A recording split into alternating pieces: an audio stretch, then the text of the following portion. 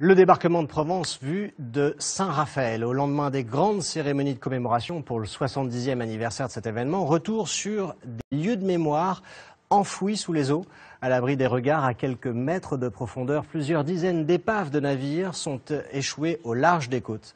Visite guidée et en plongée avec Bertrand Boyer et Marc Savino.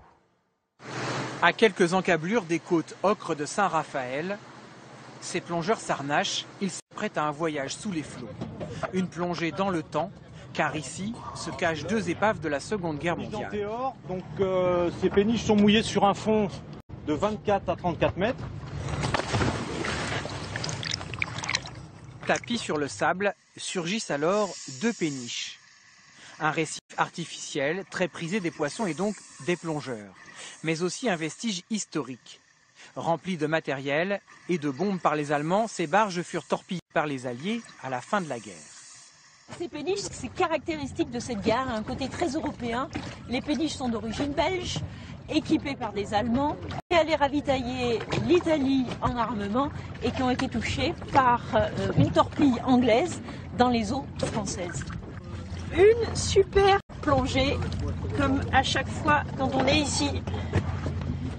Anne Joncheret est archéologue. Elle nous sert de guide dans ce musée sous-marin.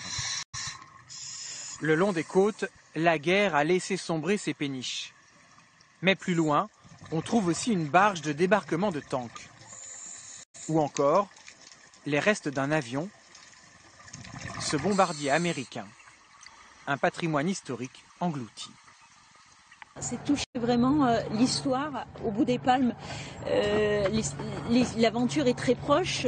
Euh, il y a encore des, survivants de, cette période, de cette deuxième guerre. Et donc il y a un rapport nostalgique qui est, qui est quand même plus prégnant que quand on plonge sur des épaves antiques. Car sur ces plages méditerranéennes s'est joué en août 1944 l'autre débarquement, celui de Provence. Près de 2000 embarcations, parmi lesquelles 30 des forces navales françaises libres. Les combats sont âpres, mais l'opération est rapidement un succès, ce qui explique le nombre limité de navires coulés. Les leçons ont été tirées du premier débarquement. Suite aux difficultés qui ont été rencontrées en Normandie, on a donc décidé de débarquer sur des plages qui sont euh, relativement isolées et qui ne sont pas défendues par les Allemands pour après effectuer un mouvement d'encerclement et donc euh, récupérer euh, Toulon puis Marseille. Mais sur l'ensemble de la guerre, de nombreuses épaves vont joncher les fonds marins. Un patrimoine précieux et victime de pillage.